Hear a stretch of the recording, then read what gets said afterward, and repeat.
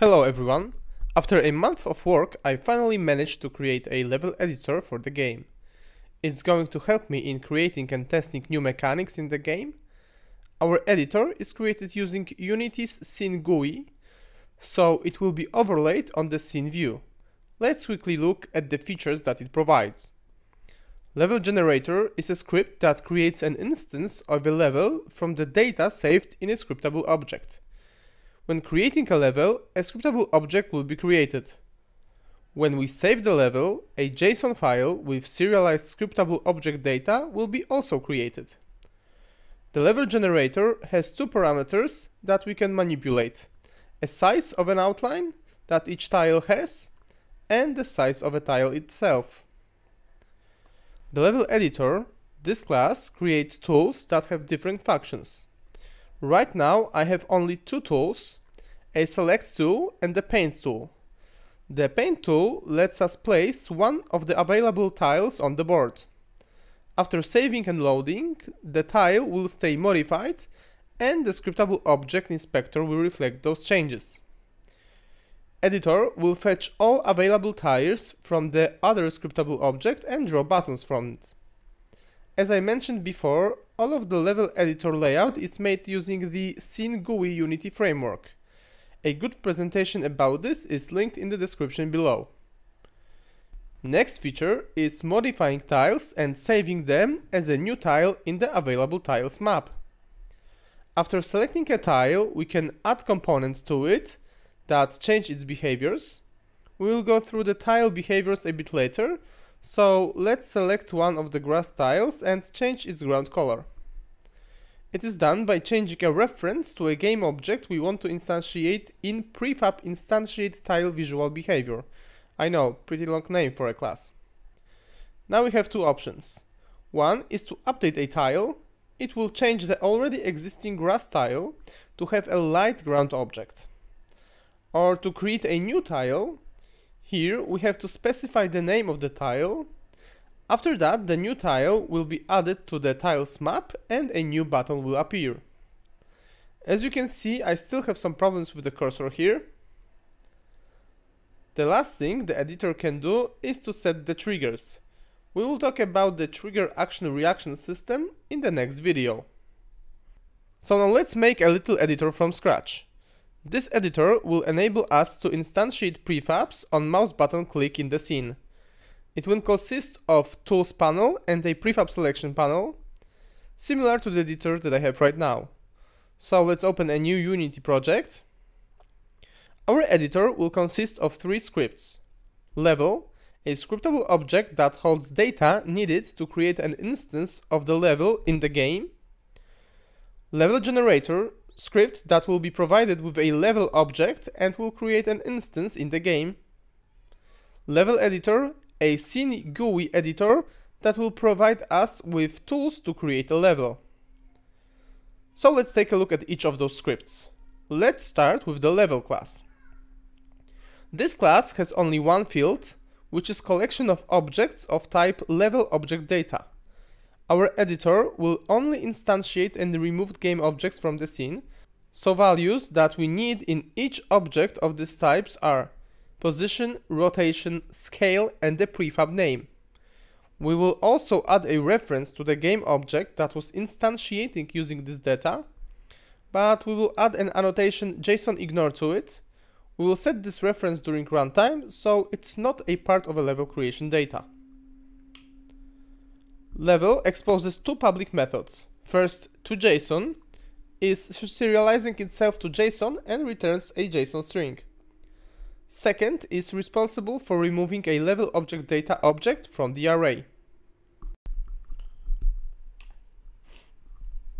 Now the level generator. Let's take a look at inspector fields. First we have a reference to the level object that will be used to instantiate a level in the game Next, we are storing an array of possible game objects that we can put in our level, and a field describing a layer that will raycast to when placing objects in the scene. At the start of the game, we will generate a runtime level instance based on the level scriptable object data. There are three steps needed to create a level. First, creating a map of prefabs, so that we will have easy access to those prefabs when using the prefab name values in level object data structure. Second, we create a parent game object for each instantiated level game object, it just for keeping the scene hierarchy clean. And third, and the most important, we create game objects using data in level scriptable object. The create object method takes a level object data as a parameter and uses it to find a proper game object from the previously instantiated map and makes an instance of it. Then sets the transform components using pass data. Do you remember the instantiated object reference in the level object data structure? Now we will set this reference. And that's it with the level generator. Now the most interesting part, level editor. This class has to have initialize on load attribute. This is a pretty long class, so I have to split it into regions so we can go through it better. First, let's take a look at the class fields. As we said before, our editor will only be able to place and remove game object, so for clarity, let's define their IDs in constant int fields. Then we will need a string that will be used as a path for saving and loading our levels and a reference to the generator and the level that we are currently modifying. I also added two properties that use editor prefs for storing which tool, remove or paint, and which prefab was selected the last time. Those values will be used as default values when entering level editor again. Now let's take a look at the initialization and Unity callbacks that we are going to use. The init editor method, besides getting the level generator reference, will subscribe its main method on SceneGUI to Unity's SceneView during SceneGUI action. On destroy, just to be safe, we'll be unsubscribing from that method. The init method has a menu item annotation which will enable us to call this method and enable the editor from Unity's top menu panel. Now let's dive into onSceneGUI method.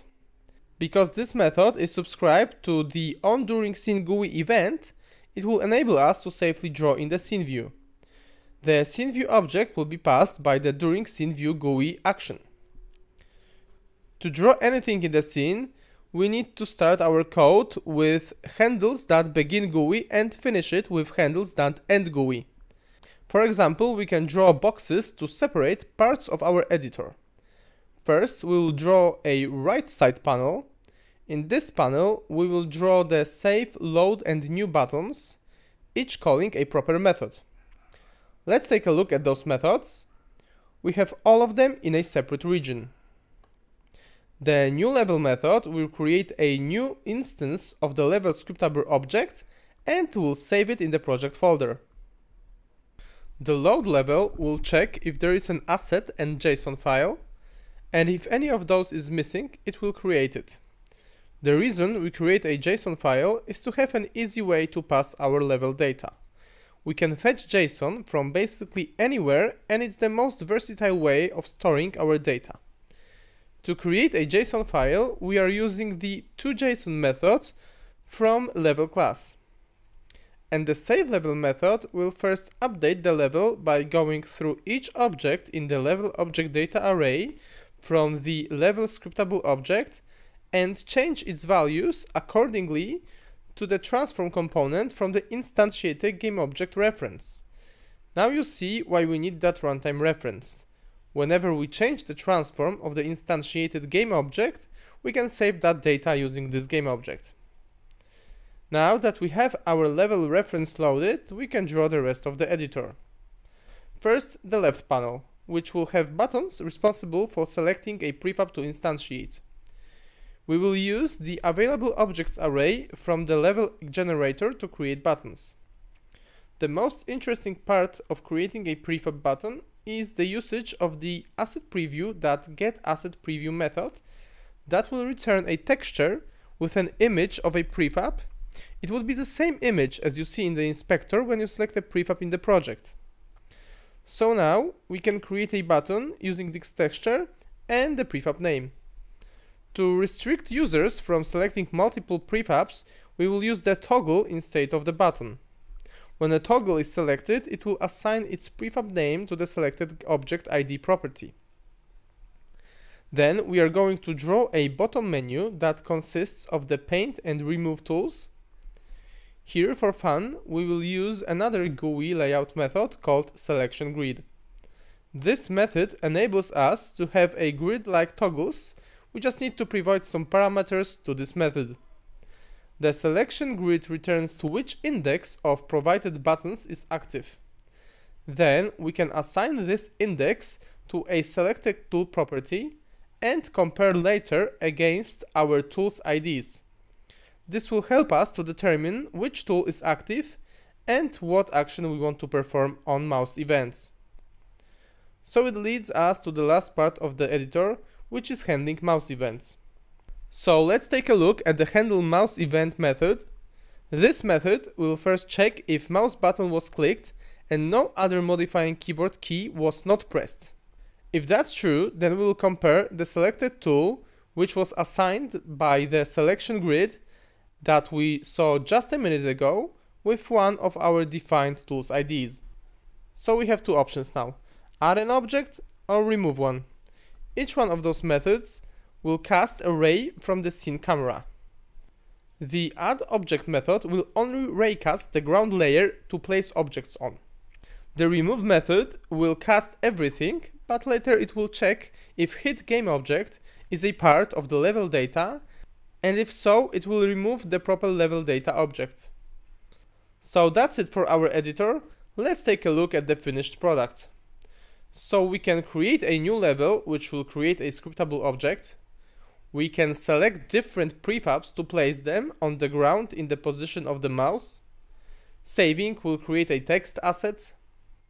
Loading the level again reflects all the changes we made. We can also remove items using the remove tool. Again, after saving and loading, the level reflects changes. And that's it for this little tutorial. My advice to you is to download the project from GitHub and mess around with it add some new tools and functions. So I'll help you to see at the end of this month with another update. Take care.